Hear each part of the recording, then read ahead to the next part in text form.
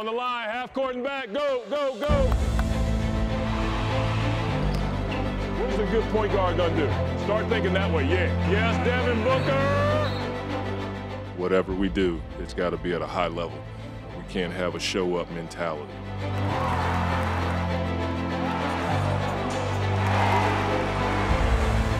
So we have to play hard. We have to play with a level of force every single night. Booker on the drive, goes up, hits the shot,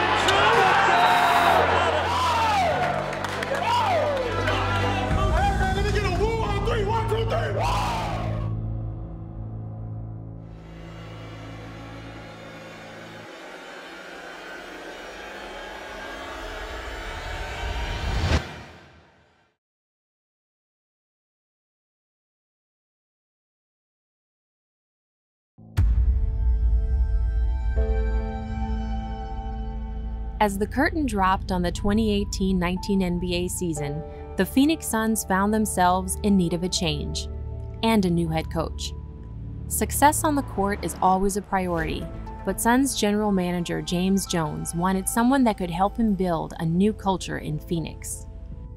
It's going to require our guys to embrace um, the little things. It'll be a war of attrition um, this summer, you know, showing up on time, working hard, defending, sharing the ball, and having a high care factor are things that I believe allow you to, to build a culture. I evaluated the teams that Monty coached and that he was a part of. They all exhibited the same character traits a focus on the fundamentals and championship habits. Uh, so after our first after our first meeting, I knew that um, if if there was an opportunity to get him here, um, that we had to do it. Jones had found his target, but the Suns were far from the only suitor for Monty Williams. So let's look at the reported candidates for the Lakers coaching job. It's Ty Lue, Monty Williams, Jason Kidd got an interview, Juwan Yeah. Howard got an interview.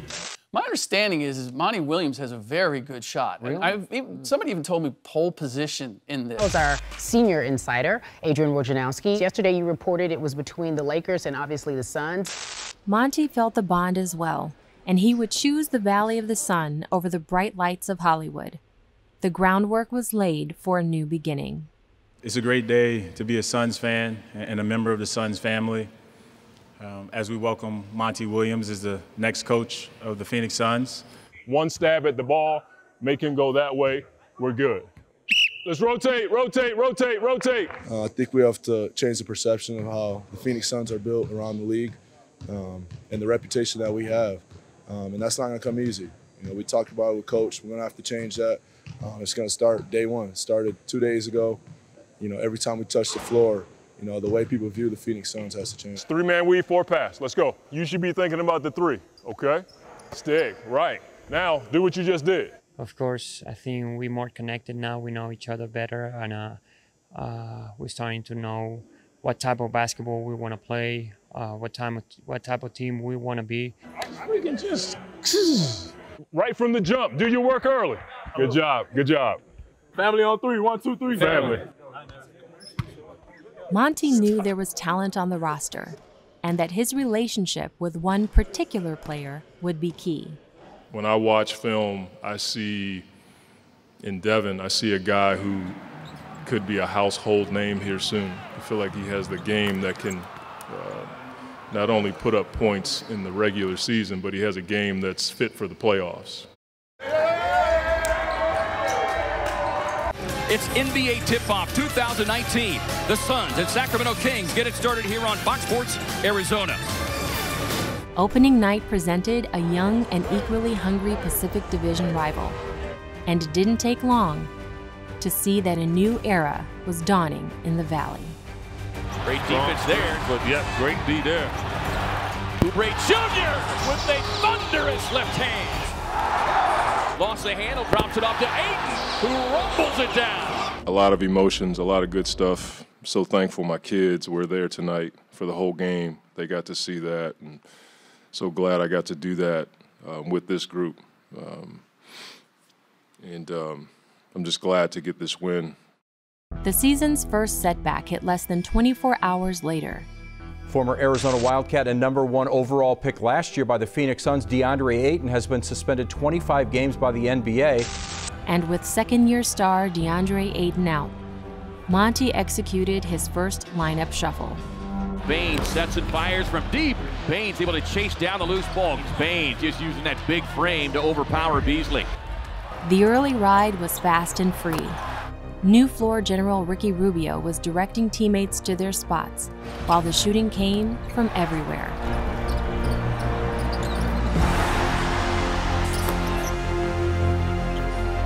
Known as an elite shooter since his high school days, the next version of Devin Booker was evolving before our very eyes. Long, deep three. Registers the three-point hit, and Booker barking right back in Beverley.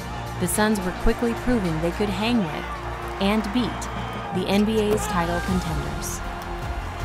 Passing and shooting their way to the franchise's best start in a decade. Inside, tough fade, hangs and hits. And that'll make a oh. quick exit for Patrick Beverley. Inside left hand, no! The follow slam, yes! There are teams in the league that have so much talent that they can turn the switch on. We can't, and our, our guys understand that. We have talent, but we're not, we don't have continuity. We just got together, and so we have to play hard until we understand each other better. Um, we have to bring that every night.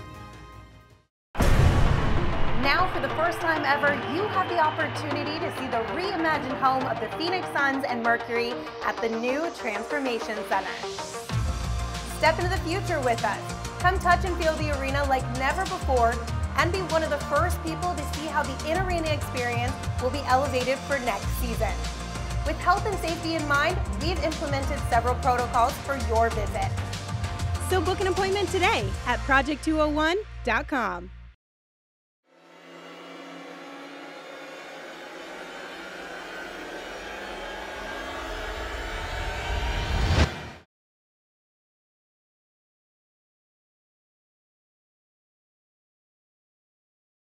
Injuries were taking their toll, but Monty Williams would not allow excuses.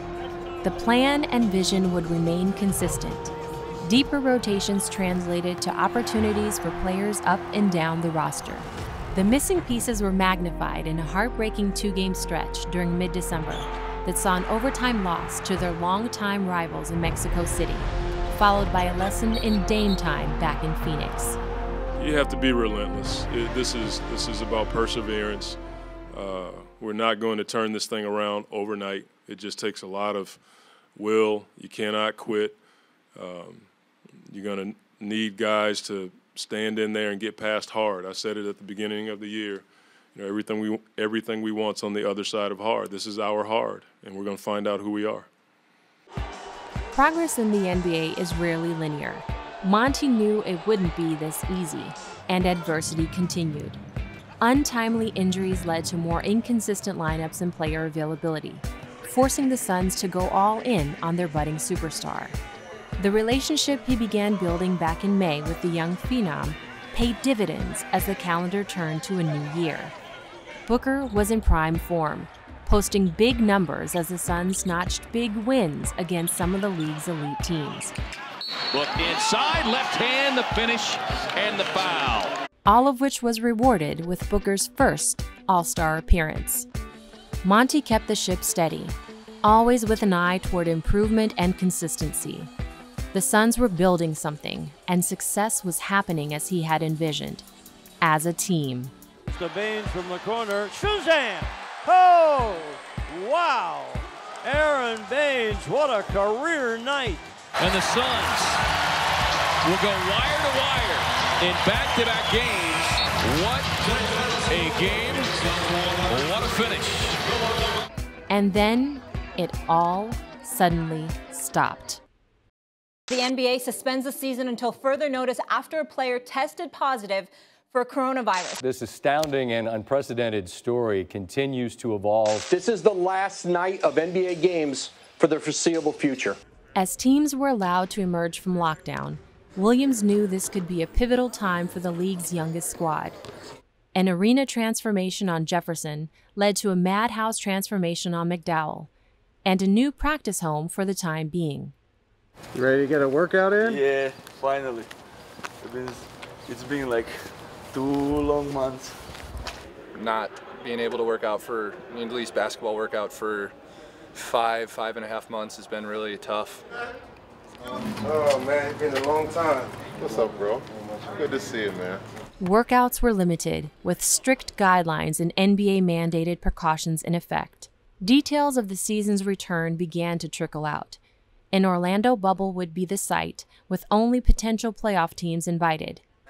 The Suns made the cut, and the most of their opportunity. Disney World, here we come.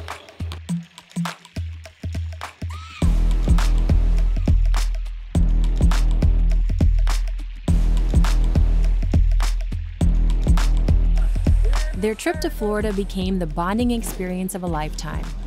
Beyond the mantra of bedroom, ballroom, bus, and basketball, the places they seemed to be spending most all their time, the team stayed engaged in the pool, on the beach, and even at the table. Meanwhile, their coach found a little solitary time to clear his mind. I think anytime you can find something in the NBA in our life where you can get away from it a little bit, whether it's reading or golf or video games or fishing. It gives you a chance to, you know, reflect a little bit, decompress. You're always thinking about your job because we're, you know, all competitive. But for me, this is just a great chance to get away from, you know, being on a schedule. Nice fish. I get to enjoy creation and my childhood, again, pastime, and just have a quiet, peaceful time. Ah, I lost my flute. As their eight game seeding schedule began, Monty knew his team needed to run the table for a chance at the postseason. There were dramatic moments that burned themselves into our collective memories. Book on the spin, fires for the win! Got it! Ladies and gentlemen, if you don't know, now you do. I look at Book, and he got two guys staring him right in the face. And I am wide open at the three-point line, and I'm like this, ready to shoot. And I look at him, I see a look in his eyes. And I, I could have just sat, I could have taken a seat on the ground, watched it from a little, you know, sitting pretzel leg and just watched him. Because at that point, it was just let him do what he does.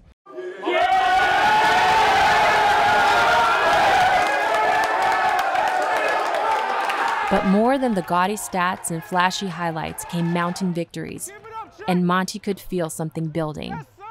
He wasn't the only one. The chemistry of the team, uh, be 24/7 with your teammates, uh, with everybody else. I mean, nobody else is here, so it's just something that we just have us, and, and I think it's something really special. After a final game rout of Luka Doncic and the Dallas Mavericks, the Suns still didn't know if their perfect record in the bubble would be enough for a playoff berth. But Monty knew they had accomplished a much bigger goal. Hey guys, look, from from Flagstaff till now, um, it, it's just been an unreal ride, right? And we got to go back to the hotel and, and see what happens. But I, I want you guys to know this um, before that happens. Like th- this is this was therapeutic for me to be around a group like this. I, I, I got to tell you guys, man, I love you. I do. I don't care what happens tonight. I, I know what I got in this room. And it's been a, it has been cool for me to be with y'all every day, to watch you guys work and, and battle and, um, and gain the respect of your peers the way you have on this trip. We're not the Suns of old. You've been through a lot. You've been through a lot. And it's, it's hard to, to play the way you play every single night and not get the respect that you deserve. Guess what? You got it. Okay? So I don't, I don't care what happens. God knows I hope we get a chance to, to keep shocking the world because that's what you did. Nobody believed we'd come, you know, we'd come here and go 8 0 and, and beat the teams we beat. But just know, man, this is special okay? I want you guys to know that. I don't care what happens, right? This is special. Don't let anybody take this away from you. You gain the respect of the league, okay? Now we got to build on it. We may get to build on it this, this weekend, or it may happen in the summer. We don't control it, okay? We got to get to the point where we control it. Understand that? You guys understand that? You want to be the kind of team that controls your own destiny, okay? That's our next step, all right? Love you guys. Bring it in.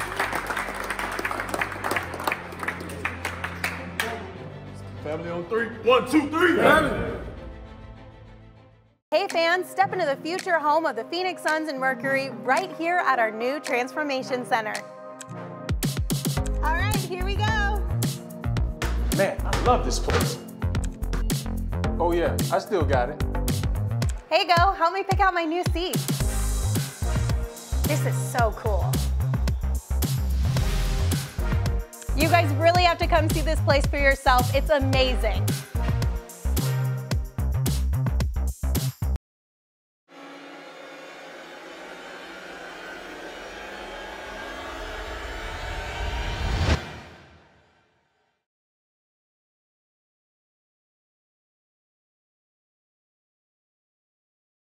All right, EJ's breakdown on the breakthrough. Monty Williams, his mandate for the players going into this season 0.5 offense. He wanted them to dribble, drive, or shoot within 0.5 seconds. That's basic basketball. It's not a shot. I mean, that's a coach that doesn't want guys squeezing the ball. I think it's more for Devin Booker than anyone else because Devin's been so used to controlling tempo.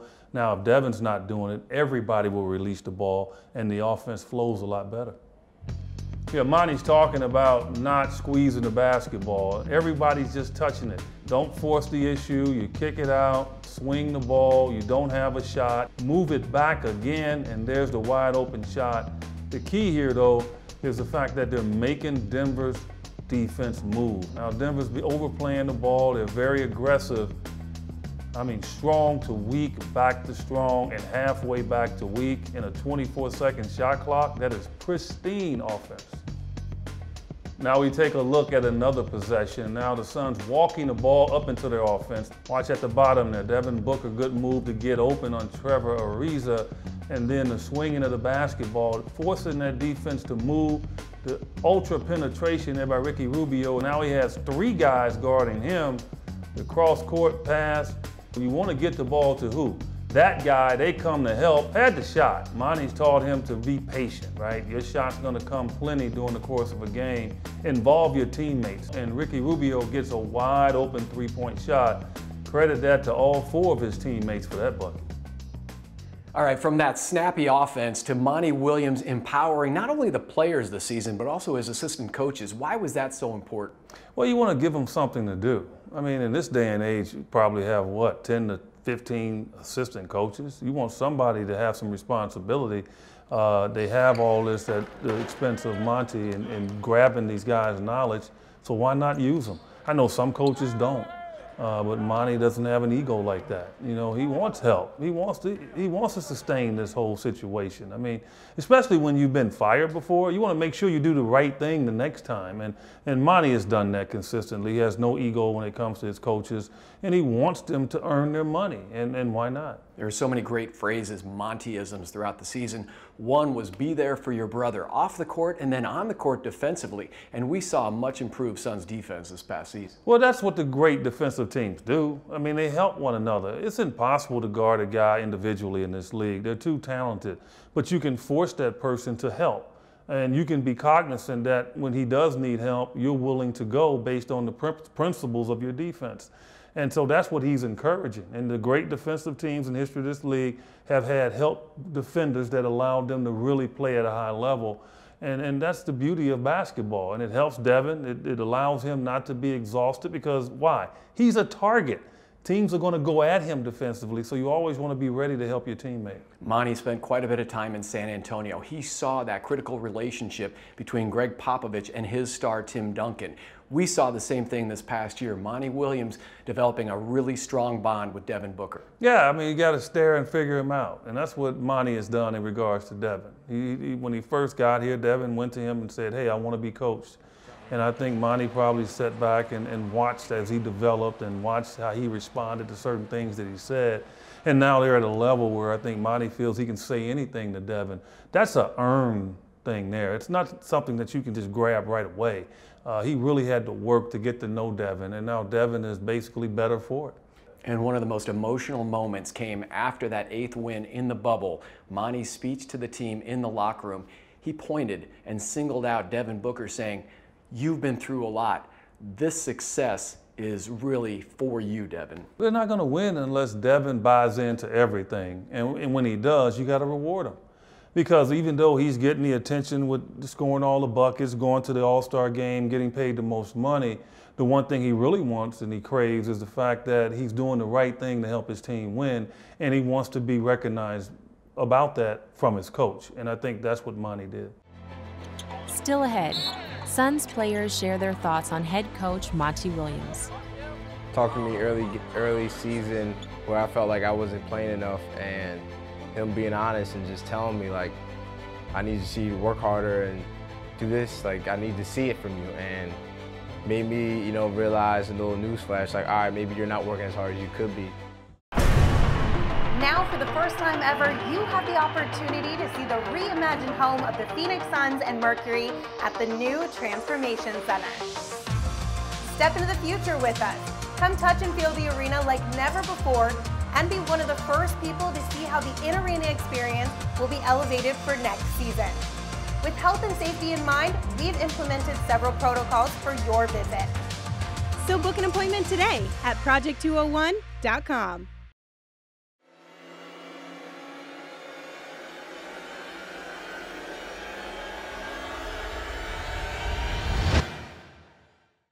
There's no ego. The egos got knocked out the window once Monty came here. He, I won't say he broke him down, but he definitely got to him. It was just bigger than basketball. Um, as much as he wants to have a great team and for us to be great players, I think he wants us to even be a better person. When I got here, Monty, I, I got confidence with him. I, I kind of feel like we got a, a certain amount of trust uh, before we even started uh, playing. He just laid the foundation, and he put the pressure on us as leaders and you know young young individuals to follow out his plan. To it's kind of like a trust thing. So it's it's been beautiful to watch it for him.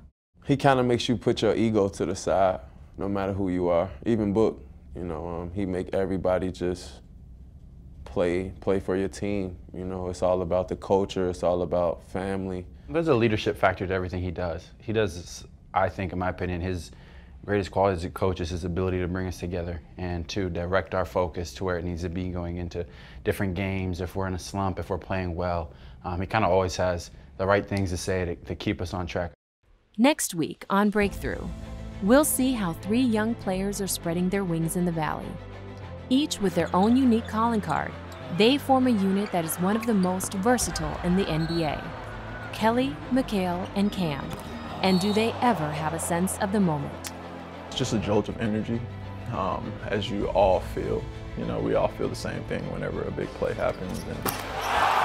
Kelly Oubre with the nasty left hand finish. Whenever I dunk on somebody, I'm never trying to just be selfish or anything. I'm just trying to put them in the rim and send a message to give our team some momentum.